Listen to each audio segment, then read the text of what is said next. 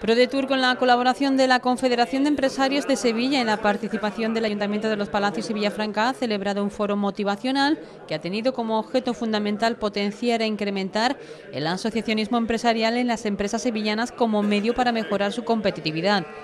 A esta cita acudieron representantes del tejido empresarial de la localidad, miembros de la Corporación Municipal y el propio alcalde palaciego Juan Manuel Valle.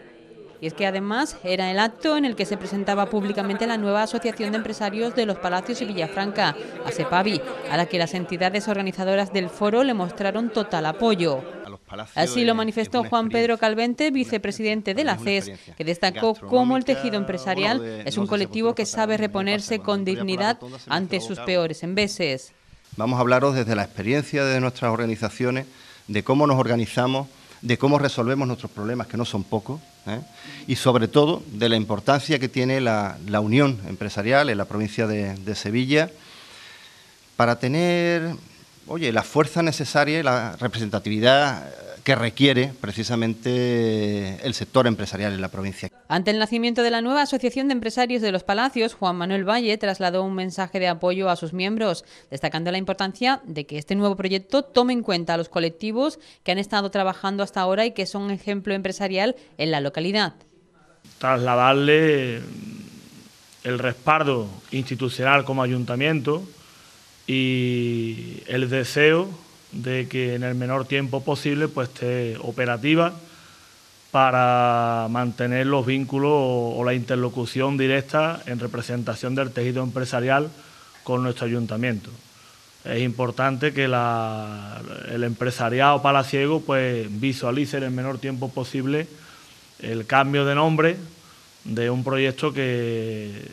como decía el representante de la Confederación de Empresarios de Sevilla, pues tiene ya un largo recorrido. Para Valle también es importante que este nuevo asociacionismo no olvide a un colectivo empresarial tan relevante como es el que se aglutina en los polígonos industriales. Dentro de los epígrafes eh, empresariales, pues la industria tiene un peso muy grande en, el sector empresarial de, los Palacios y Villafranca y eso pues debe de acompañar de ilusión. Ilusión gana, yo sé que Julio es un hombre con, mucha determinación y cuando se marca un objetivo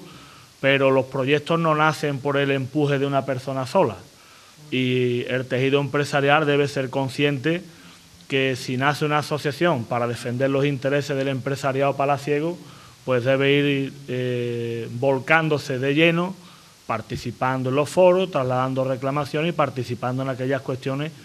que se entiendan desde los profesionales, en este caso los empresarios y las empresarias, que pueden redundar en una mejora de,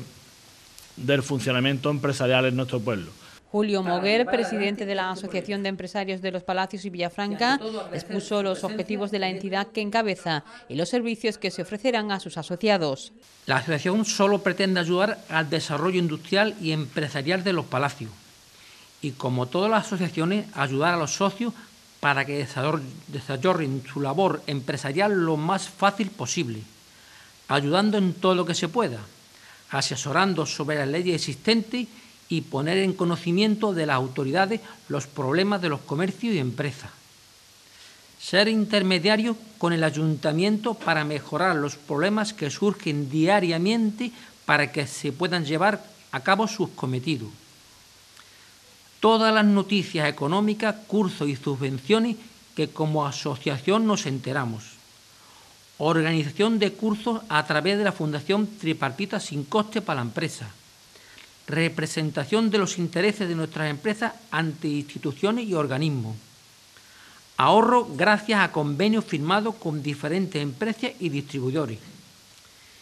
envío de convocatoria para todo tipo de eventos gratuitos de carácter empresarial.